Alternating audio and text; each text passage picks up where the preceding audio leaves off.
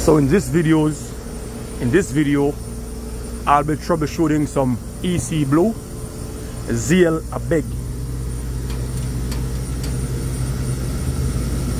Ziehl Abegg EC Blue fan motors, EC motors. So it's on a chiller. This chiller particularly is called Technical Systems. Okay. And uh, I'm getting a high pressure alarm and on circuit number 8 or compressor 8 HP so circuit number 8 tripping high pressure tripping high pressure I reset it the compressor came on it ran for a little bit and then cut off. I note that the fan didn't start up because I already climbed up there and checked it. So while the compressor was running no fan no condenser fan motor and it just cuts off eventually so uh, yeah let's go we're going to be troubleshooting this Abegg EC Blue motor together. Stay tuned.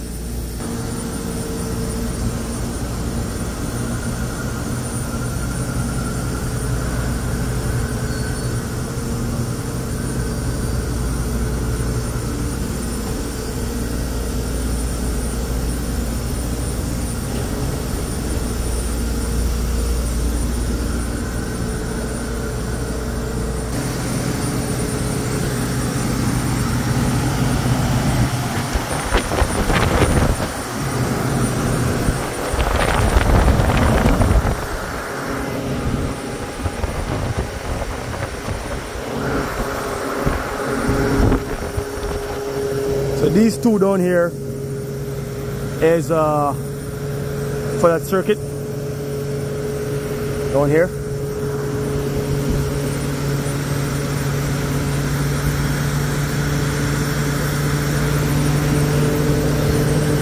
So I'm going to be opening in cover right here. I'm going to be removing this cover right here. And I'm going to test this motor right here.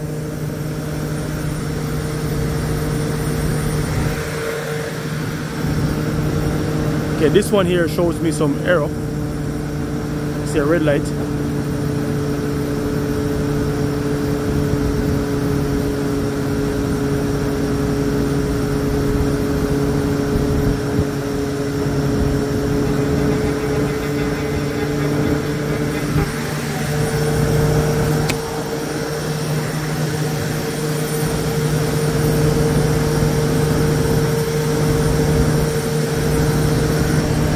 However, I don't know what that error stands for. Or maybe I do, I don't know. I think I have some manuals uploaded showing all the fault codes. But nonetheless, I got a T, a T-bit. And I'm gonna reuse to remove this, this cover.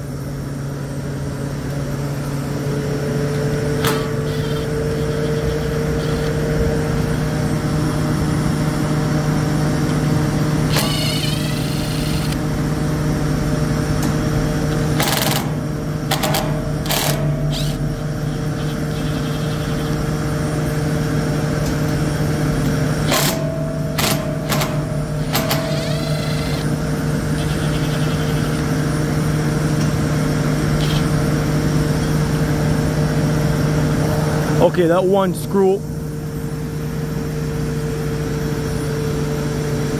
was wiped.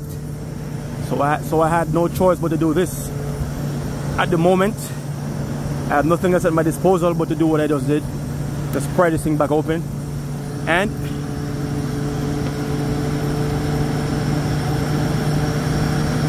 you can see what's going on. This thing is fried.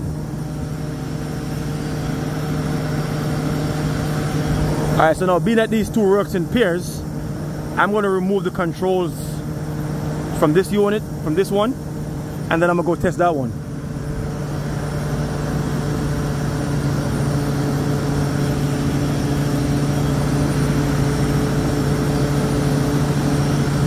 This thing is fried. So it looks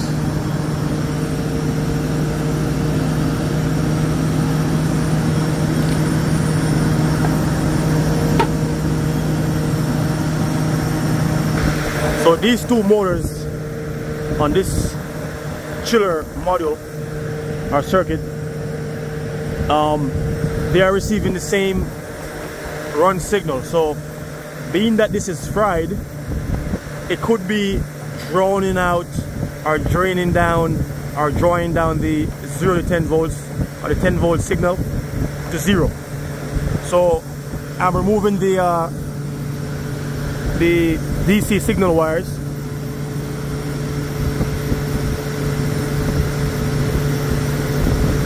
From this unit here. And then I'm gonna go test this one to see if this is good or not.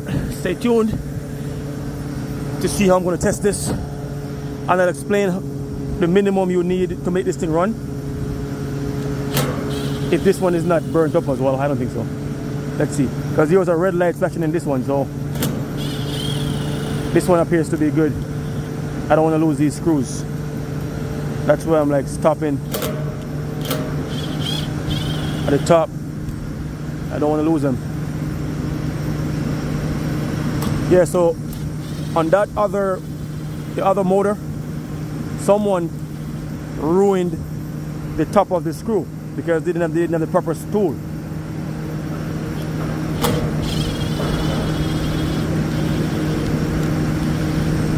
because if this thing falls it goes, goes inside. So I don't want to lose the screw so I'm going to be very careful on that.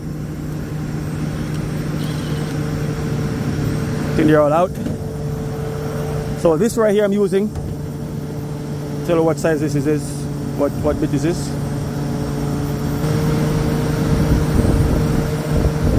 it's a T20 bit.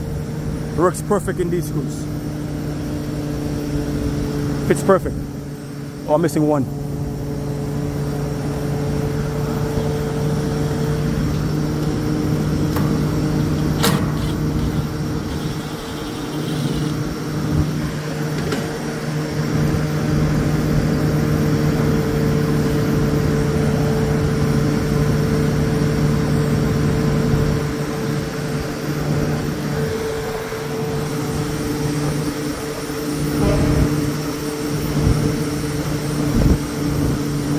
I just don't want to lose any of these screws in, on the inside.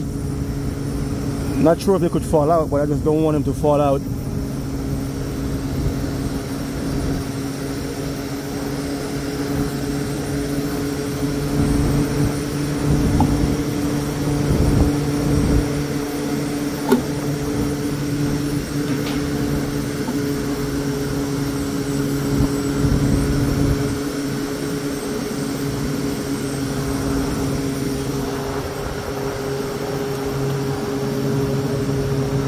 And there's also a rubber gasket underneath here.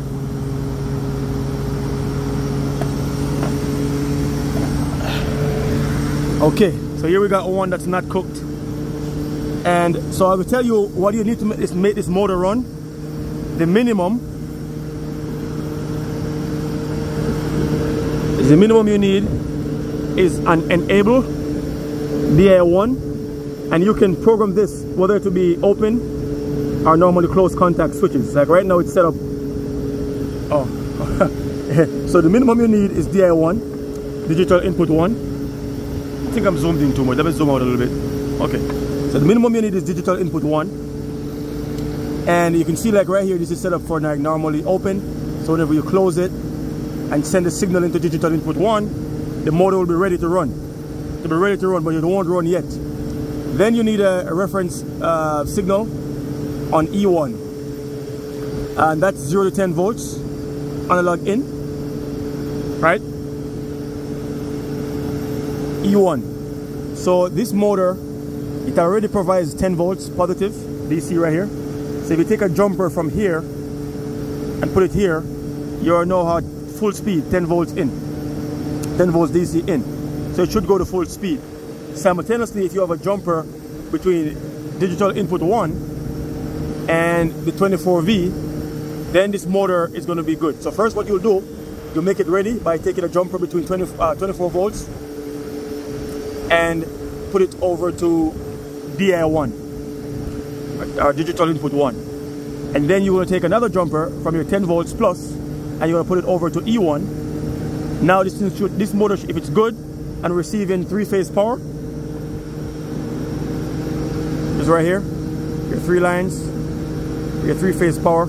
If you're receiving three phase three phase power, then this motor should ramp up. Now this DI uh, DI1 is programmable if you have the tool to program this uh, motor.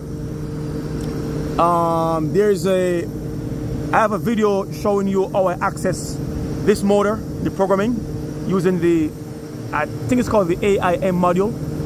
But check out my videos, I have it. I have it uploaded. Actually, motherfucker, I'll leave that in this video link. You guys could see it. So I'm gonna go ahead and test this motor right here now. Okay? Stay tuned. Alright guys, so I already have everything prepped. I've already checked right here. You see line one, line two, line three. I've checked, I got three phase power there. Um, like I said, um, jumper right now, you can see the jumper between uh, 24 VDC and uh, digital input 1 or DI, DI1 or D1 okay that's a jumper it's already there. That means this motor is already ready to go. It's ready to it's ready to run. Ready to run. All it needs is the reference signal which comes in on E1 okay? So digital input is satisfied.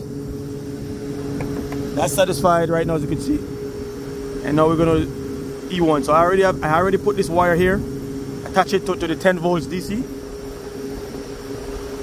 and if I was to use my meter to show you show you right here let me go on DC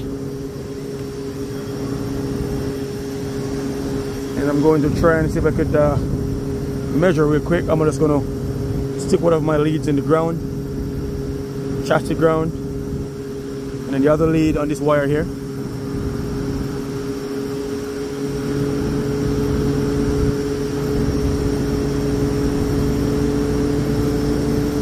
Ten volts DC.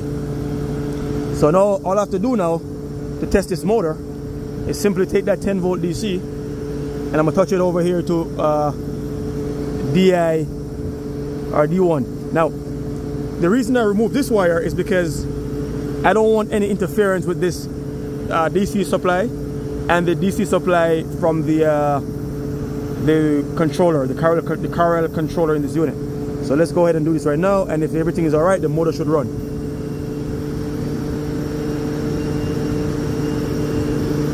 It's in the hole, it's in the hole. And here we go.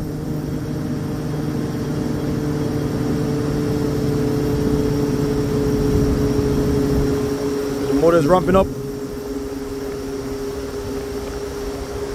ramping up, ramping up, ramping up, ramping up, ramping up.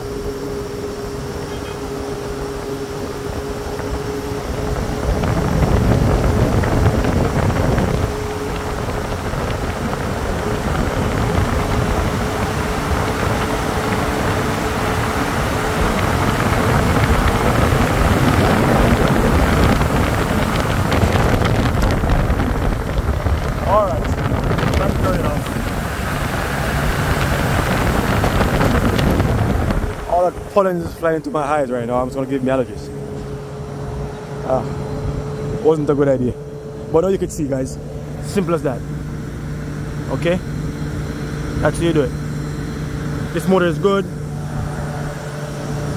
That motor is right.